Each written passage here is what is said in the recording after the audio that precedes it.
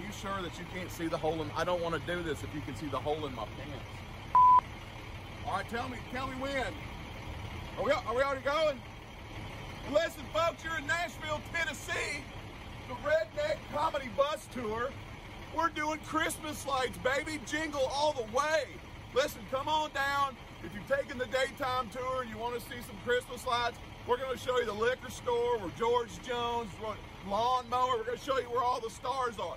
But listen, we're booking up fast. It's me, Buckshot Red, my cousin Georgette Nash, and we're right here on the one and only Redneck Comedy Bus Tour.